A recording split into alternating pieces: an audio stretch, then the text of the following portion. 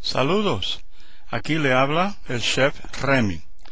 Hoy vamos a hacer tostones de plátanos verdes y solamente necesitamos plátano bien verde, ¿ves? Este otro no es tan verde, este está bien, se puede usar también. Pero mejor, el más verde de todo. Ok, vamos a quitarle la cáscara. ¿eh? Y vamos a cortar los pedazos a pulgada y media de largo. Pulgada y media. No menos que eso, ¿no? Porque lo que pasa es que si lo cortas muy corto, entonces no es tostones. Bien. Ahora vamos a freírlo en aceite de freír que tiene 375 grados Fahrenheit de calor. Y lo vamos a hacer dos veces. Primera vez, ahora, es solamente para darle casi un, colorcito así amarillo y que se pongan un poco suave. Poquito nada más. Muy poco.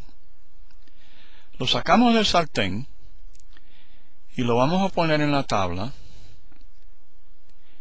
y lo vamos a machacar con bueno vamos a ver aquí tengo de cristal una copa y ves cómo estoy haciendo y le das así como una vueltecita para que no se te pegue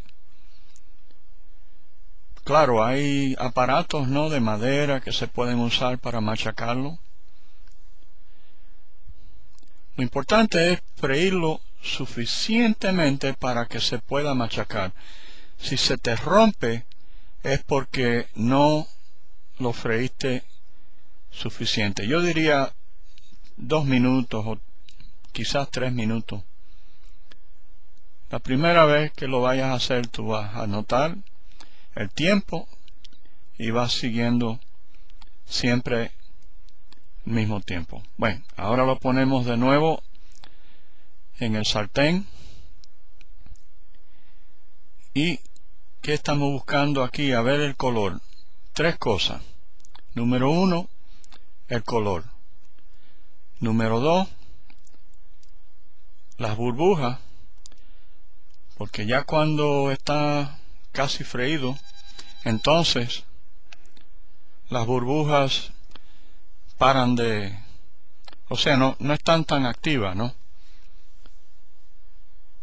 Y la tercera cosa va a ser que si le, lo tocas así, le das un golpecito, vas a oír un tac tac así y ya están, ¿ves? Ahí lo oye, pa, ahí, ya están fritos.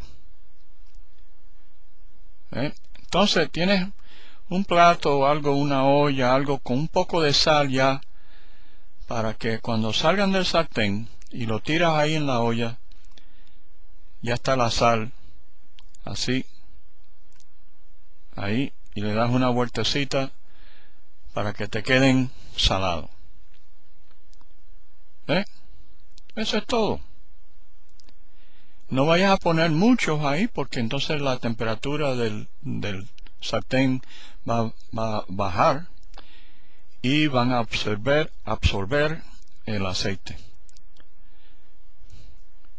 Fíjate que hablo seis idiomas, así que me, me cuesta un poco hablar español. Bueno, aquí Chef Remy, gracias por ver mi video. Y si tienen la oportunidad de mirar en el internet, van a encontrar ahí un sitio que se llama, ahí lo tiene, thevideocook.com. Y ahí me van a encontrar. Gracias. Bye bye.